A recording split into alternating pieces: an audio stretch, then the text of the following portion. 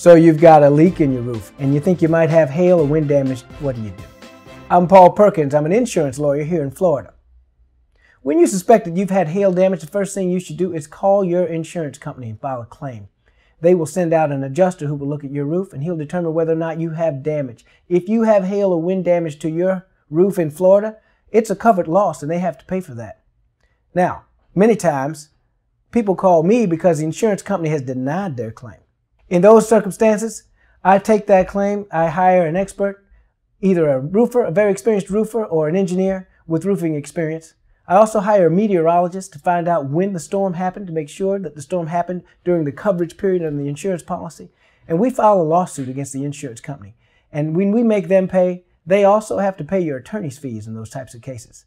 So why am I telling you this? Many times these insurance companies deny these claims when they should pay them. I'm Paul Perkins, an insurance lawyer here in Florida. Call me at the number below if you have questions. Thank you for watching.